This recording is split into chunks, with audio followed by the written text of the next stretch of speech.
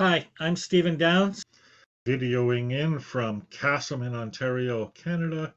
My talk today is called What's Next for MOOCs?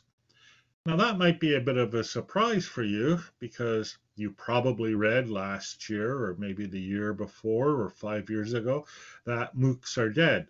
Well, I'm here to tell you, first of all, MOOCs are not dead. Um, in fact, uh, we've seen in 2020 that demand for MOOCs has risen considerably. Here's something from Class Central looking at 2020 web traffic on MOOCs, and you can see it went for, for Coursera from 27 million to 74 million. That's a lot. You look at the number of registered students in MOOCs, we've seen it go up quite a bit as well. If we look at also the different technologies, the different platforms that people are using for MOOCs.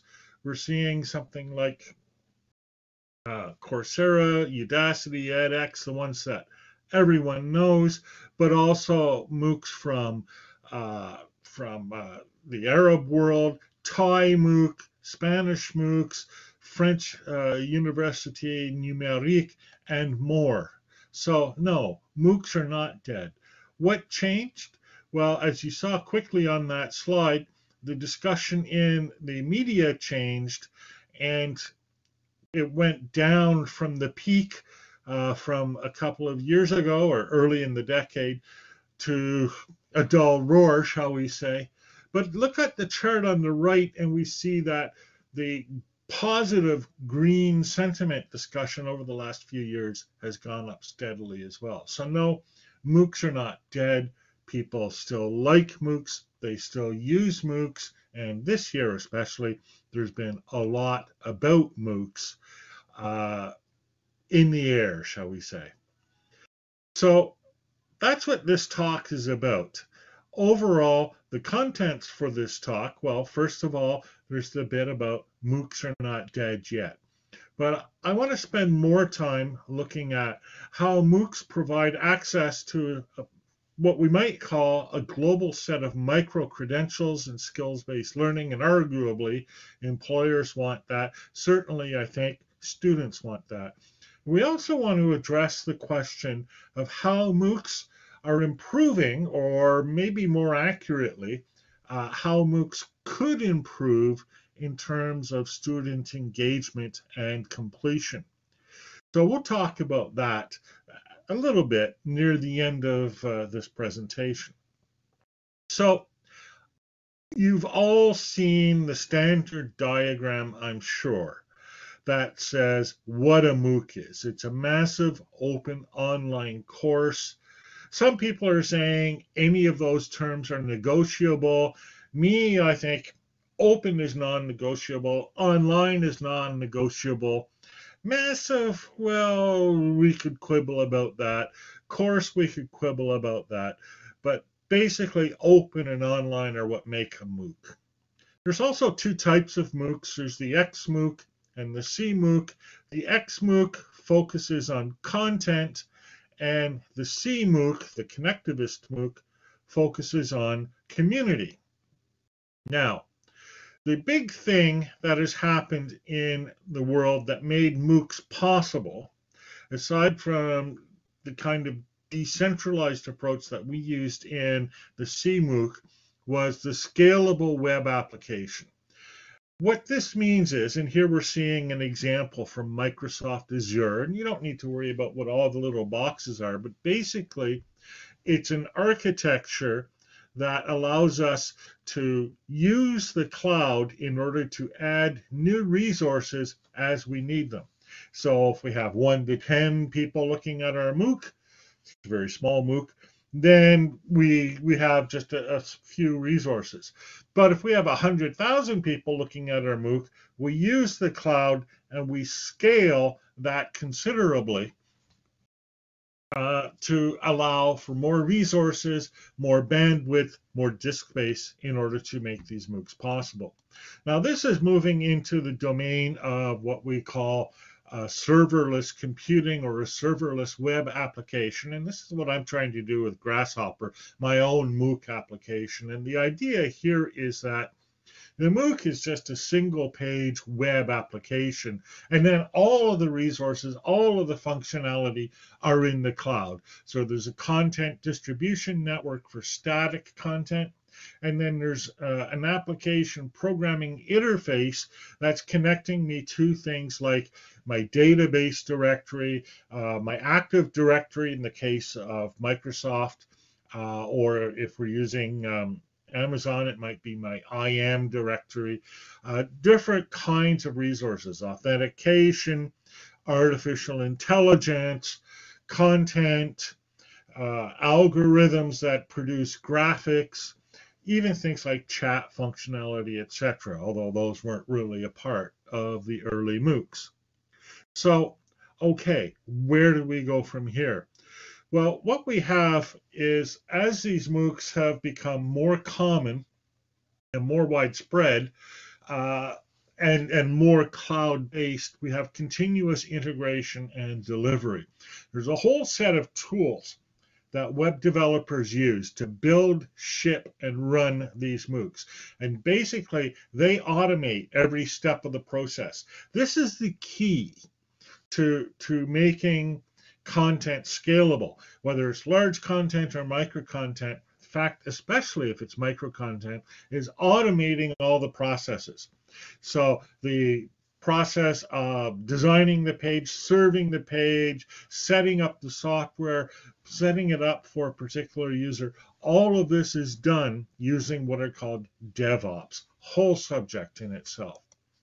So moving on from there, what we're looking at are the additions of automated services to do the things that take us so long to do now in education.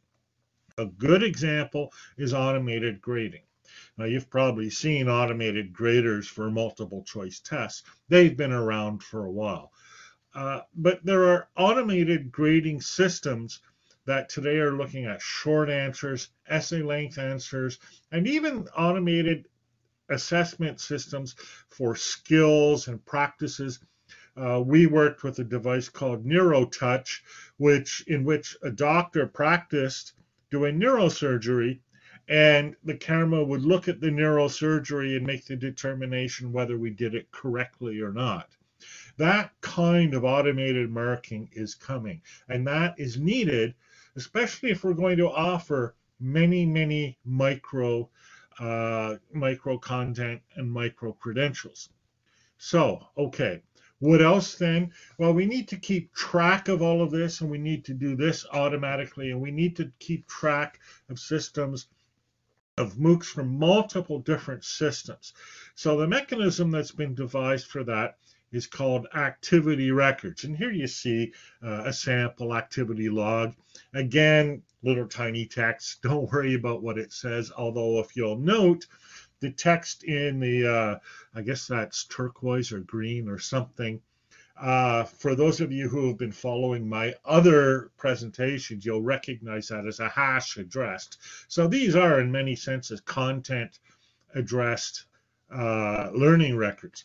But that's an aside. The main thing is whether you're working on this learning management system or that uh, application or that quiz system, um, or even on things like uh, uh, remote devices, sensor based devices.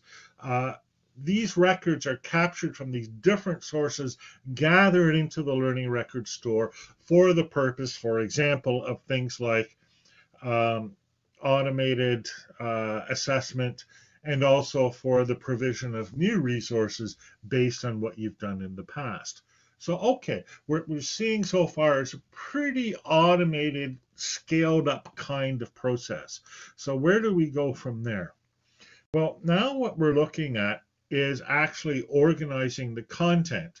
We organize the content typically by credentials.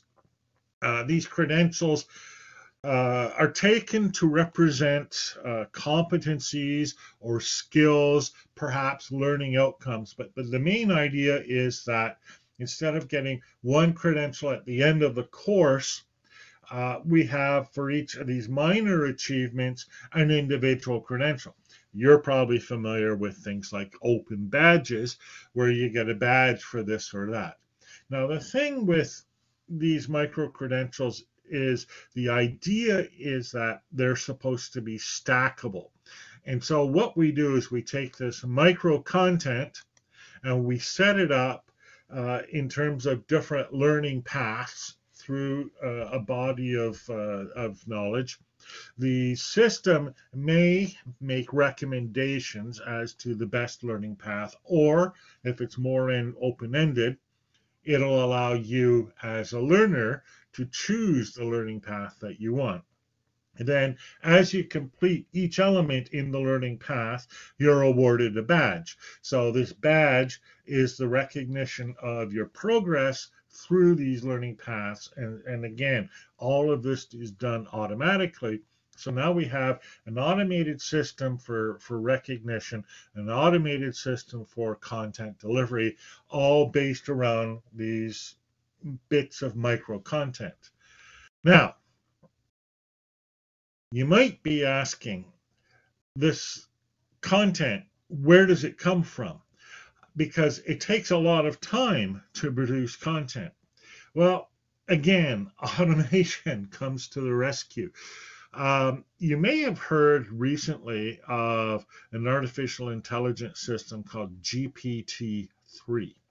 It only came out this year, and it has been producing all kinds of automated or automatically generated content. Content, if you look for, you know, this face is not a real person, or uh, this is not a real dog, or, or even things like deep fakes, etc. This is content that was created by GPT-3 from scratch. It's it was assembled and created by it. So it can produce images, it can produce poems, it can produce songs, some very bad songs. There's a, a channel out there on the internet, all heavy metal produced by artificial intelligence.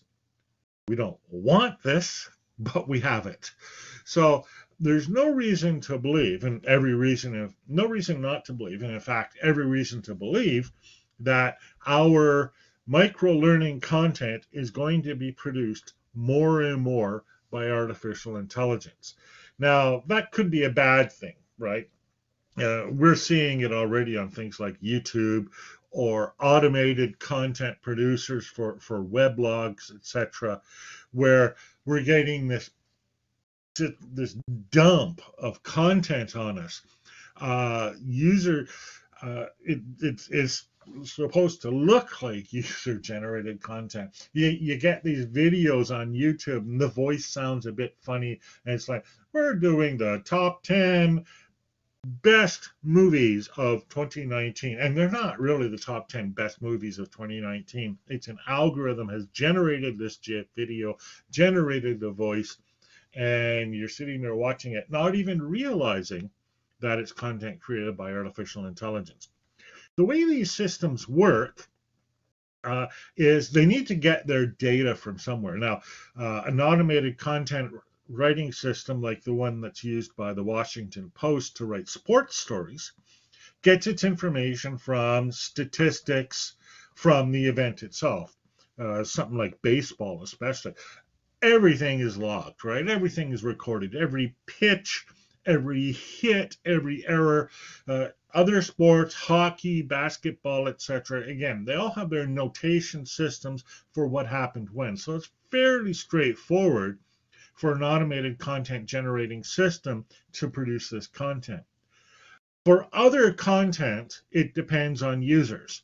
Uh, and what it does is it looks at who said what when, maybe on Twitter or on Facebook, Instagram, whatever, assembles it together, and that's how it produces its resource. So that's automated, automatically generated content. Uh, it's being introduced into things like WordPress. It's being introduced uh, into things like learning management systems. That day is coming very shortly. So that's where the micro content comes from, right? That's where we get the, the core, if you will, of our massive online courses. Um, how do we make people stick to them? Well, as we can see on the slide here, the time that a presentation takes has a lot to do with whether people watch it to the end. This presentation, for example, is only 20 minutes, which means we might keep about half of you all the way through. Um, it varies, right? You know, I mean, uh, depends on the presentation, depends on the presenter, depends on the content. It's not a, a straight line relationship. Nonetheless, making these things shorter improves engagement. And I think that's going to be the approach for massive open online courses. Uh, here's one example, and I, I looked quite a bit for examples. There aren't many available yet, so this is still new. Uh, creating micro MOOCs, micro massive open online courses. So here's a framework uh, that was produced back in 2015. Uh, here's a slightly different framework and, and one I like a bit better where the micro contents aren't all smooshed together into a single MOOC, but rather each one of these micro contents is thought of, of as a separate independent MOOC. And so as a result, what we're going to get is kind of a different approach. And if you look at this slide here, uh, we see the difference between the old way of thinking of this and the new way of thinking of this. In the old way of thinking of this, which was based on the idea of learning objects or open educational resources, we had to aggregate or put this content together. Um, you know, that's where the idea of stackable credentials comes from, stackable course content, etc. The new way of doing it, what we have is a collection, a web, a network, how, whatever you want to call it, of related contents, but they don't combine to form a single unity. There aren't set paths through it, but there are paths that might be defined implicitly as people in real time take one, then take another, and then take another, actually creating cow paths, which uh, will use automated systems eventually to, to recommend. So that's the model of micro learning, right? Uh, so each one of these micro MOOCs is a standalone course, a short course. Uh, might be 10 minutes, probably it's going to be, you know, you want to actually learn something from it. So it might be, you know, as long as an hour. There are different models of these short courses. Some are just straight content delivery. Others are based on dialogue or interaction. Others are based on creating a product of some sort. So these courses form, if you will, a collection of community resource networks they're interrelated in different ways. They're created by different communities. There are different paths through them, different producers of them, different consumers of them. So it's an open ended structure rather than a rigid structure. And the idea here is then that people can take these courses as they wish. They might be offered through a learning management system. They might be offered just taken directly from wherever they are by the student. Uh, they might be collected by a third party. Doesn't matter.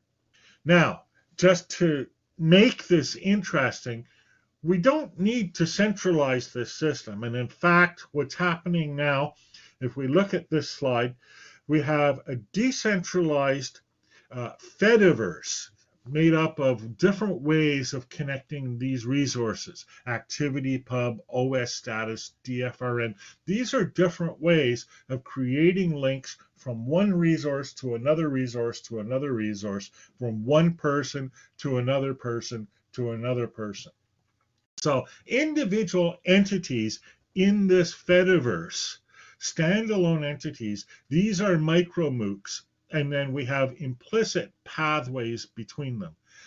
And it's kind of like, if you read the quote on the slide there, it's kind of like going into each other's uh, places and learning from them directly as individuals. Thank you very much. So please do um, add your questions for Stephen. I'm going to kick off uh, with kind of a, a, a, broad question for Stephen, just knowing his history. Stephen is one of the originators of MOOCs, and I wanted to ask uh, Stephen, you've seen a lot happen since probably what about 2008 when that first MOOC came out. Did you ever think it would get this big? There would be that many universities and other providers involved in MOOCs. We would be talking about getting credit for a, a MOOC now. Did you ever think um, that it would get to this point? I wouldn't say I thought that MOOCs per se would get to this point, but I always thought that open online learning would become this popular. Uh, you know, even when uh, we did MOOCs in 2008, uh, we had all all of us that were involved been working on MOOCs or working on open online learning for many years, you know, a decade or more. So it, to me, I just saw it as one step in in the longer process, and it didn't matter whether this step is the one that took off. But open online learning, you know, given the affordances of the internet, open online learning is uh, was and and will be, you know, uh, very large in the future, and that's what I expected at the time. So, what did you expect at the time, Stephen? I I expected 20 or 30 people to join us in our small little course where we described by demonstrating uh, the principles of connectivism. Uh, it was like, and then we'd all go on to our next projects. Uh, I that's what I expected because that's mostly the results that I get. That, that's interesting. Thanks very much for that, Stephen. And one of our colleagues online just typed in a, a comment. He says classic uh, at Stevens or at Down. So I think uh, your colleagues are really, uh, you know, um, know a lot of your history with, with MOOCs. Uh, our next question how do you see the acceptance of the MOOC micro credential building? Will schools, companies begin to see these credentials as, as legitimate? Are they already legitimate? That's going to vary a lot depending on the credential. Um, if you do and pass a course and receive something like, say, Microsoft certification or CGA certification, and these courses are, are of various lengths, that credential is already accepted. Uh, if you do one from uh, Slim Jim's course building technology R us, that's probably not going to be accepted so much. And, uh, you know, I, I think we're going to be looking at a model where different vendors offering different credentials. And I say vendors deliberately, um, not because I'm pro commercialization, but because that's almost the way we have to think of them. Different vendors offering different credentials will have different reputations. Uh, also, in the longer term, you know, get get past the next five, ten years. Uh, we're not going to need credentials so much as directly accessible proofs of competencies or skills. And that's where a lot of this um, automation comes in. It looks at what you as an individual have made available online as a portfolio or as a trace of your online activity or as those learning records that I talked about. It looks at all of that and it can be accessed by a potential employer or a potential contractor in real time and will deliver uh, i don't want to say a verdict but a recommendation saying basically yes this person is qualified to do the job that you're asking them to do or no this person is not. Now all kinds of potential issues with that. I get that but um, there's all kinds of potential issues with credentials as well. And this gets rid of that intermediate step and gives us direct access to, to skills and competencies. And that will be accepted in the future. It won't matter where you learn them, it'll matter how well you demonstrated them. Thank you, Stephen. Our next question What is the next barrier to be overcome by MOOCs? For example, hmm. do we really need professors if artificial intelligence can produce content?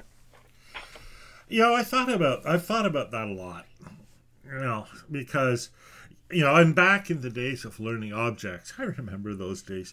Um, the line was, and I know because I wrote that line, that you know the math lesson has been taught. The same math lesson has been taught since time immemorial. It hasn't changed. We don't need 14 million different iterations of it. And that's still true. One single good math lesson will probably do the job. But I've also learned over time, as I think the rest of us have, especially this last year, being live is important. Being live allows for that quick back and forth exchange um, that that allows for real-time non-predictable responses to inquiries. A bit like what we're doing now. And it's important not just for the learner and and I think this is really key. It's important for the provider, in this case, me, um, because that's where a lot of the new ideas come from, and and that's true on both sides of the interaction. So I think you know we, we don't replace everything with automation. We got a lot of automatically generated content for sure uh, and, and, the idea of the role of the professor as you know the uh, the content delivery mechanism that fades because there are better ways to do it, more efficient ways to do it. But the role, actually going back to even the traditional role of the professor as someone to bounce ideas off of, someone to engage, you know, in just brainstorming or speculation or trying something out. That remains and that persists, and that's still a valuable thing. Long, long term, maybe machines do that too. Um,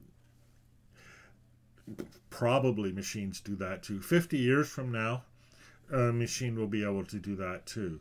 But in the interim, between now and 50 years from now, we're still going to need a human to do it. That's good to know, Stephen. I really appreciate we're all not going to get eliminated in the next few years. That's great news. Yeah. Well, um, depends on your job, right? your job here as host. Sorry, just kidding. Thanks so much. Uh, Stephen, I want to ask you to, if you had to pick out one thing that's going to happen with MOOCs, say in the next year, what would it be? Oh, next year. Uh, people will be saying the pandemic didn't mean, mean anything. Uh, we're all going back to in person education. Um, MOOCs were overhyped. Online learning was overhyped. We learned it was a horrible, terrible experience. We should never do it. Um, that's what I predict will happen in the next year. Uh, I think a lot of that reaction will be overreaction, and overreaction is something that you can reliably predict in any circumstance at any time. Uh, but you know, I mean, we we kind of come back to this. Uh, I like, I'll pat myself on the back, I like the idea of the micro MOOC as I've sketched it out, and I, I really only came up with that while preparing for this talk, so it's a bit new to me, and I haven't really thought it through a lot. Um, but it seems to me that producing a bunch of course-sized micro MOOCs, and I'd have to think about exactly how they instantiate themselves uh, seems like a logical next step in what we're doing. Uh, why would you, you know, I mean, you certainly address the problem of completion, right? I mean, that's that would that would do the job in itself almost. Um, so I think we'll be looking at shorter form MOOCs. Uh, they've been getting shorter and shorter. Our first MOOC was eight weeks. Um, the longest MOOC we did, uh, which was changed 2011, was 30, I think 31 or 35 weeks. And we all agreed at the end that that had been a terrible idea. It was a great MOOC, but it just went on and on. Um, and now we're seeing two week, three week long MOOCs. Um, so the idea of a one session, one event MOOC that takes an hour and then you're done. Um, you know, really all that needs is the technical framing for it for that to happen. And that could happen sometime this year. I wouldn't be surprised because I'll try it. um, yeah, but mostly we'll see the negative reaction. Okay, thank you for that. Um, got another question.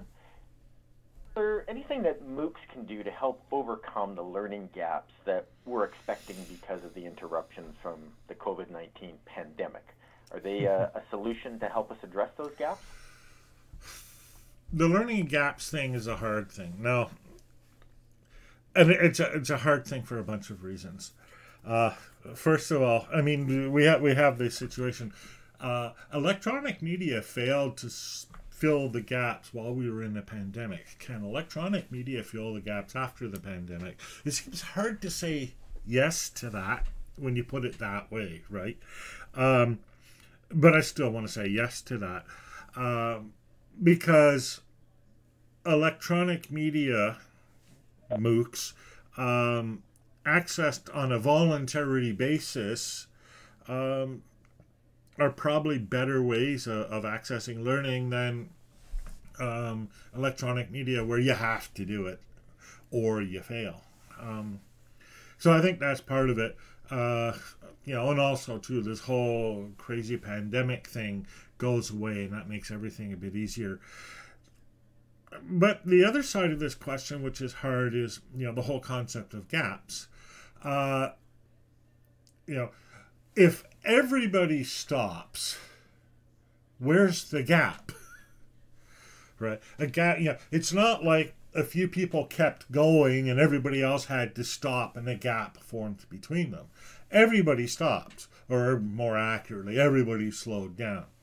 So there isn't a gap in that sense. There's only a gap in the sense of we didn't meet these predefined uh, learning outcomes for these years in our educational career. So, well, that's not a problem either. You just shift the outcomes and you've addressed the gap. Uh, you know, things happen in people's lives, and this is a thing that happened in everybody's lives uh, all at once, which actually makes it a bit easier to deal with.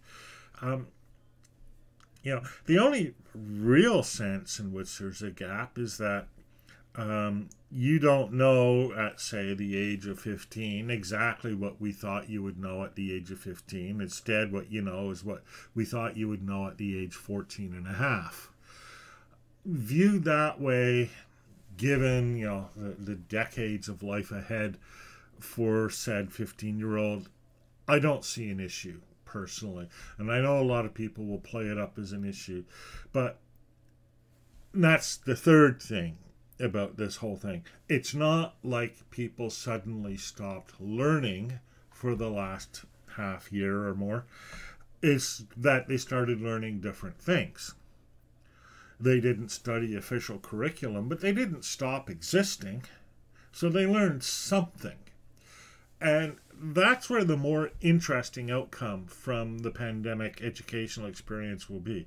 What did people learn that was off the curriculum instead of learning math 20, say?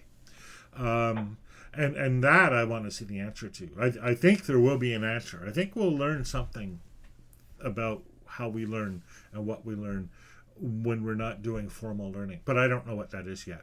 I can guess, but they'd only be guesses. Did you want to guess? Uh, we learned how to work together online more.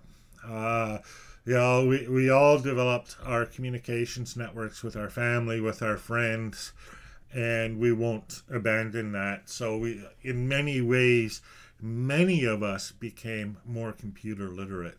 Um, I got Zoom up and running for my parents who are in their 80s. Um, now, they didn't successfully use it, but there will be many cases where the same sort of thing happened where they did successfully use it. Um, and if, you know, that take that and multiply it a million, 10 million, 100 million times.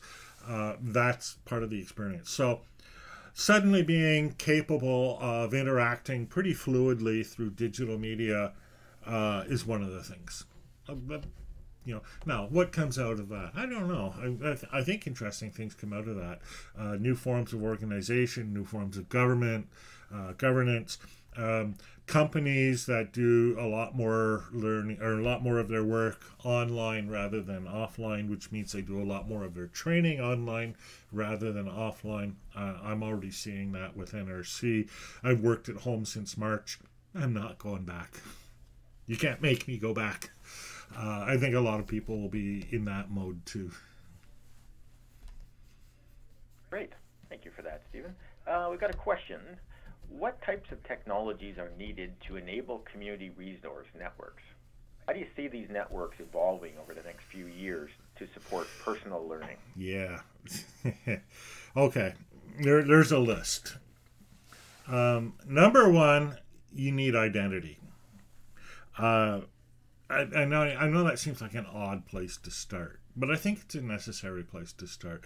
One of the things we saw during the pandemic is that it's really hard to work with 11 applications, 11 logins, uh, 11 passwords, and then try to sync all of that together. Uh, it, it's it's hopeless. Now, those of us who've been working on this kind of stuff for a long time already knew that but now that knowledge has probably percolated all the way into executive suites and decision makers' offices, which means that we will get a lot more serious about identity, digital identity, as well, a lot more serious about how we protect you know associate that identity with resources how we protect the ownership and control of those resources with respect to that identity, etc. That's probably the big thing. Um, the second big thing, I, I, showed you that diagram with all all of the um, Feder, you know, the Fediverse, all the different protocols for the Fediverse. Getting that down from like 15 protocols to a few protocols, or you know, just even just a, a Rosetta Stone for them would go a long way. Uh, ActivityPub is on the verge of being the dominant uh, communication mechanism behind the Fediverse. So if we have identity, if we have ActivityPub resource sharing, and if this is adopted in any wide way, that'll go a long way. Um, third, and finally, uh, institutions have to want it. Uh, I know that's not a technology, uh, but that's a real requirement. If every company, every institution wants to put up walls and do only stuff within its own boundaries, its own borders, then we don't get this. Um, these institutions have to accept that data moves from institution to institution and, and, not just at you know the high level we're sending money kind of protocol which already exists but at the low level one person is sending something to another person kind of level. We need that. Um, and i think they will. I, I, think as i say you know the decision makers uh, may have finally realized that we need this as a result of this pandemic. But we need that kind of you know desire on the part of institutions to actually create something like this. Thank you, Stephen. Um, we're just winding down. We got a couple minutes left, um, Stephen, and I think what I might do is just turn it over to you um, to share any last words of wisdom from Stephen Downes on what's next for MOOCs before we wrap up the session. Last words of wisdoms. Okay, well, this comes from uh, nowhere. Uh, I mean, first of all, there's going to be the negativity. There already is a lot of negativity about um, ed tech and electronic media and all of that. And the concerns that are raised by people like Audrey Watters and others are valid and legitimate, and they're problems that we have to address. They are not arguments against ed tech or ed media, digital media, or massive online courses. Uh, they're arguments against specific models, models where they do surveillance, big data gathering, uh, artificial intelligence enabled projection, uh, where they do things to you, right? That's the model that we really have to worry about. The you know, aside from being based on open online resources, the other side of MOOCs has always been that someone's education, your education, is what you make it. And we want you to make it rather than us to make it and deliver it to you.